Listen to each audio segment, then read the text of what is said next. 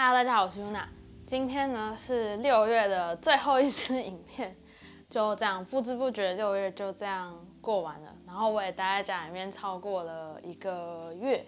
大概一个月又多个几天这样，没有什么太大的，跟之前感觉还是一样。就我就我前面一开始第一支宅日记有说我是这个宅女，所以我待在家里面没有感到说非常的焦虑或是不安或是很想出去之类，就待在家里面过的就是很。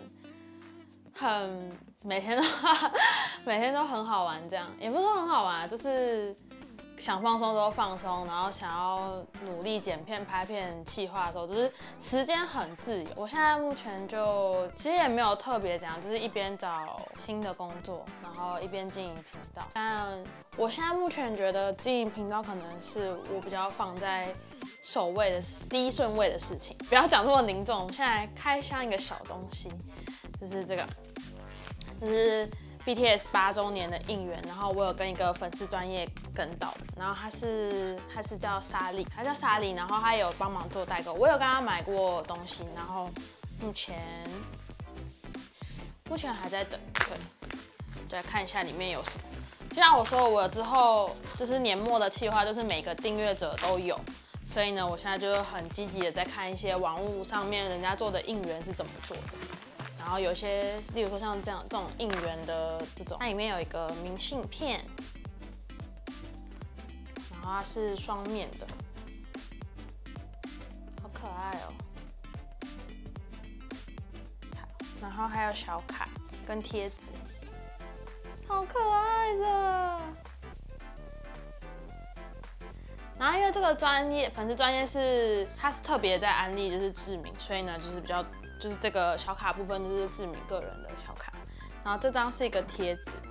我记得这是一个贴纸，好可爱，而且它是镭射的。好，好，呃，会想开，顺便看到这个，就是想征求大家的意见，就是大家对于就是我说的年末计划，就是每个订阅者都有，就是你只要订阅就有的礼物，会比较希望是明信片啊、贴纸、小卡，或是其他一些。应援周边，例如说透扇啊，或是钥匙圈之类，就是大家的意愿是什么，然后可以在底下留言跟我说。就越多人统，就是越多人想要东西，我觉得朝那个方向去做，大家才会顶到这个这个气化应援的东西的时候，才比较开心。这样，或是什么，你们可能会想要，例如说悠悠卡，类似这种比较生活贴近的东西啊，或是小圆镜啊那种，就是都可以在底下跟我说。那应援的部分的话，就是除了他们照片，照片部分一定是不会拿饭拍，因为饭拍有就是，呃，就是会有就是会有争议，所以一定都是拿官方的图片，或是甚至是我自己画的一些图片，这样就之后会给大家选。所以赶快招募你的阿米好朋友们一起订阅我的频道啊！然后在这边也要跟也要谢谢大家，就是这就是今年六月我开始认真在经营频道之后，真的就是。那个订阅数真的有变比较多，它有几支影影片的，就是反应没有很好，我自己也知道，因为我也知道有些影片就是就是真的没有什么题材，然后比较偏向个人化的东西的时候，大家看意愿本来就不会比较高，所以我也不会太气馁或什么，在数字上面啊，就是像我我也有说过，我拍片的气化通常都是一个强的，一个弱的，一个强的，一个弱的，就是这样搭配在一起，一个搭配性这样，所以我心脏比较受得了。啊，因为我也知道，如果一直拍弱的影片或弱的气话的话，就是大家会看的意愿本来就会比较低。没错，这这这这这这是很正常现象，我都能理解。那其实也没有什么太大被数字绑架的那种感觉，因为其实我也没有真的在盈利或者什么的，所以我觉得数字方面对我来说还好，就是有点像一个成就，就看那个数字都有往上，然后都有绿色的话，我就会觉得哦很安心，就是代表我这支影片做的算不错，或是算这影片做出来是。呃，大家比较愿意看的这种感觉。那我们接下来就来讲一下七月的计划。那七月的话，我就不会像六月一样每呃每隔一天这样上片，因为其实说实在话，就是就像我说，在大家家里面没什么特别的题材。然后如果我可能想要题材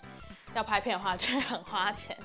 对，那原则上七月的话是每个礼拜五都会发影片，大家可以也可以在留言下面跟我说一下你们比较喜欢收看时间，例如说晚上啊、下午啊，或是白天。因为目前我发片都是发下午或是晚上，自己看是下午发片的话，看的人会比较多，所以晚上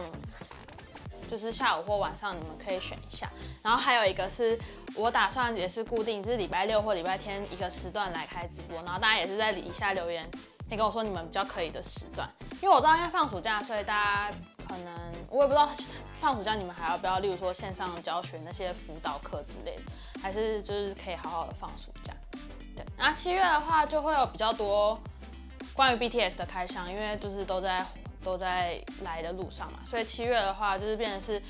呃，礼拜五就像说，礼拜五固定会发片，然后我一个礼拜原则上就是会发两到三支片。题材的部分的话，宅日记一样会继续，但宅日记就会变成是我会选可能一个礼拜里面我比较有趣的一天，或者比较不一样的一天来做搭配。所以原则上的话，每个礼拜就会有一支宅日记，一个宅日记跟一个开场影片，大概是这样。有点不舍得哎，六月就要这样过去了，然后感觉就说没事也不是真的没事，那说真的有很有就是很多事情要做，也其实也没那么多，就是过得有点还行的那种概念。然后我自己是这个月过得蛮开心的，就是因为我一直很专注在就是频道上面，或是想一些企划，所以我觉得还蛮充实。然后七月我还想要，就是可能疫情方面如果没办法那么快的解除了解禁的话，我应该会去上一些线上课程，比如说韩文课，把韩文继续学好，然后去考韩文检定，这样应该是我今年的目标。还有什么事要说吗？我想一下，彩妆影片的部分的话也会有，然后之后彩妆影片的话就会一定会有试色或是教学，这样就是不会是只有简单的开箱，除非我收到一坨阿拉古，然后放在宅日记里面的时候，我才会变成是简单的小开箱。然后彩妆影片之后就是会独立出来，没错，大概是以这三个原则，所以每个礼拜大概两三支片的话，类型就是宅日记，然后 K-pop 的，就是例如说 BTS 的开箱，然后再来就是彩妆影片，就大概两。就是一个礼拜的计划，大概就是这样。那今天影片到这边，如果喜欢我影片的话，记得帮我订阅、按赞、分享，还有开启小铃铛。期待我们下次见，安妞！大家记得要在底下留言哦，这样我比较，这样我比较知道大家就是喜欢的类别是哪一项，然后比较好去做一些取舍。拜拜。